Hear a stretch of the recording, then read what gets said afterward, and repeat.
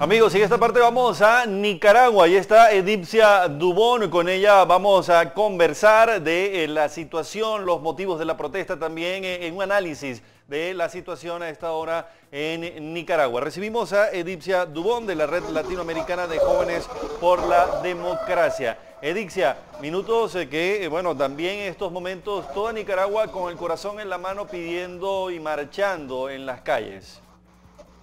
Así es, los nicaragüenses estamos marchando en las calles demandando justicia por más de una centenar de jóvenes que fueron heridos, que fueron detenidos, que fueron detenidos desaparecidos y más de 40 jóvenes que fueron asesinados brutalmente por el régimen de Ortega en la semana del 18 al 22 de abril.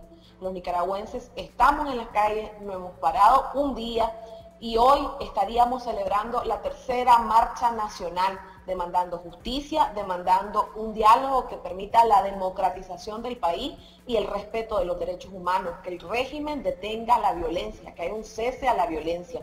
Hoy sería un día muy importante porque es por primera vez que la Policía Nacional se compromete públicamente a detener la violencia en todo el territorio nacional, permitir que todos estemos en las calles demandando justicia, demandando democracia y demandando respeto a los derechos humanos. Importante, Dipsia, ese mm, eh, mensaje que acabas de dar de que todos estemos en la calle, así lo decías, que todos los nicaragüenses están en la calle. ¿Qué lectura se le puede dar a esta, en esta oportunidad también a la participación de campesinos que eh, se oponen al régimen del presidente Daniel Ortega? Efectivamente, el movimiento anticanal que ha estado concentrado más en la zona norte del país, que lleva más de 90 movilizaciones en el país, se suma a la movilización nacional desde la marcha que fue convocada por la Iglesia Católica, acompañando la demanda de democratización, acompañando la demanda de justicia, porque hay que decir que también ellos han sido agraviados por este régimen.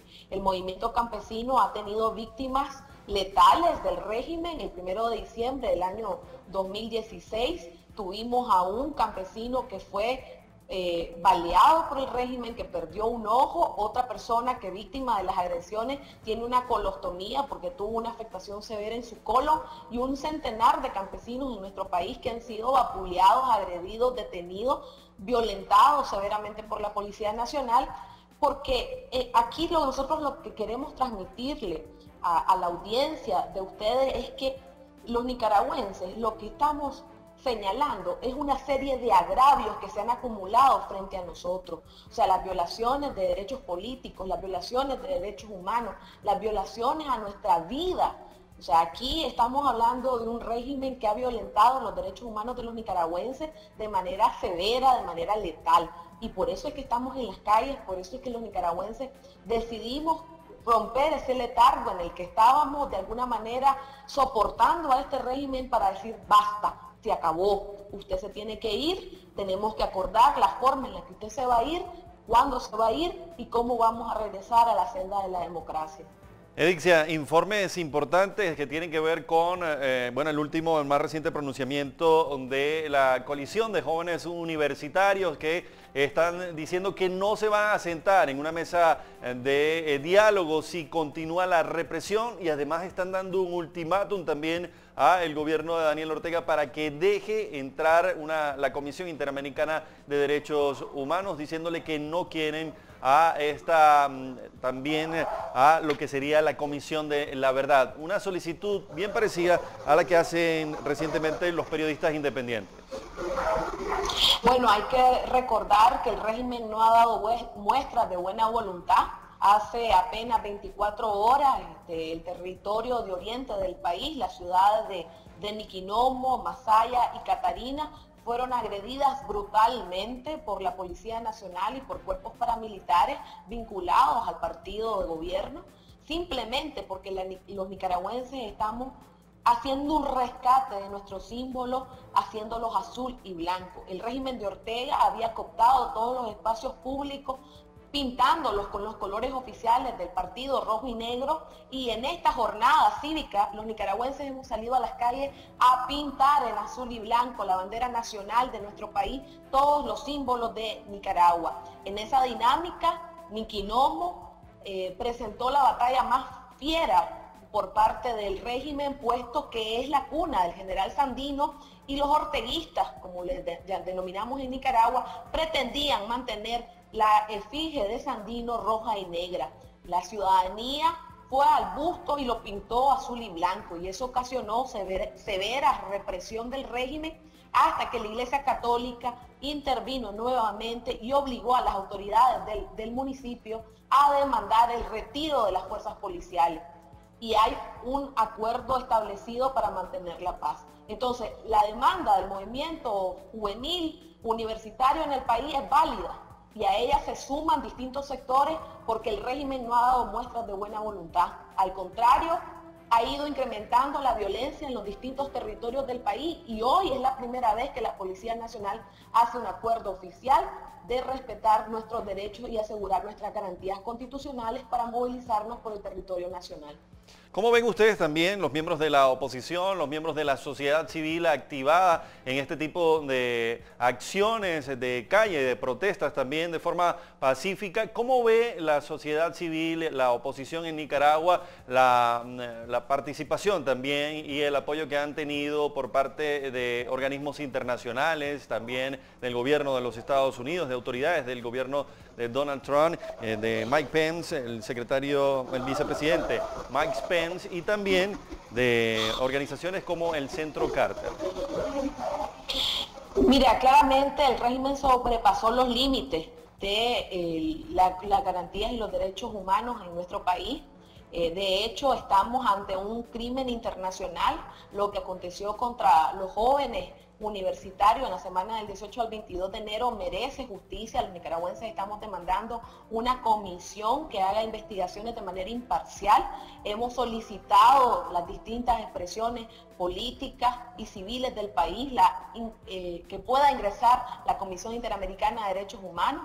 El régimen se ha negado y es así que distintas entidades internacionales como las Naciones Unidas, como la Comisión Interamericana o como el mismo seno del Consejo Permanente donde el señor vicepresidente de Estados Unidos hizo su intervención, hacen un llamado al régimen de Ortega para poder restablecer eh, las garantías y los derechos humanos y permitir que haya justicia en el país que permita el ingreso de la Comisión Interamericana para hacer una verdadera investigación que permita satisfacer a los familiares, a las víctimas y al pueblo de Nicaragua. ¿Por qué dice, por qué dice verdadera investigación? Edipcia, ¿por qué dice verdadera investigación? ¿Qué pasa con la Comisión de la Verdad que recientemente eh, creó la Asamblea Nacional, que juramentó la Asamblea Nacional? Ustedes también se oponen a, em, esta Comisión de la Verdad, las investigaciones que pueda adelantar. Mira, para nosotros es parte de una estrategia del régimen. Inmediatamente que se dieron todos los hechos de represión, donde él no menguó la represión, lo que hizo fue dar orientación a la Fiscalía Nacional de la República y a la Asamblea Nacional, ambas entidades que están bajo su control absoluto, para que constituyeran mecanismos que hicieran parecer que se estaba haciendo justicia.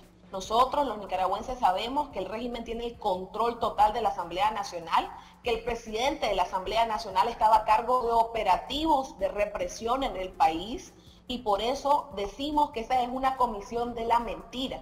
Una comisión de la mentira porque difícilmente ellos van a investigarse a ellos mismos. Desgraciadamente, estas autoridades están implicadas en las violaciones de derechos humanos en nuestro país y por ello es que nosotros demandamos la participación de una comisión independiente que permita y garantice la justicia, la verdad y el resarcimiento a las víctimas. Interesante también preguntarle qué confianza tienen en esa promesa del gobierno que mm, hace minutos nos decía de poder manifestar, de bajar la represión policial? Mira, no tenemos ninguna garantía de confianza porque hasta este momento no han dado muestras de buena voluntad. Es la primera vez que la Policía Nacional se pronuncia en esta dirección. Esperamos y exigimos que sea de verdad esas garantías para que nosotros podamos hacer ejercicio legítimo de nuestro derecho de protesta pacífica y de manifestación. Esperemos que todo termine bien y que esta marcha realmente sirva para seguir demandando el cese de la violencia, la justicia, la democratización en el país y el respeto a los derechos humanos. Muchas gracias, Edipcia Dubón. Gracias por su atención a ustedes. Muchas gracias por estar pendiente de nuestro país.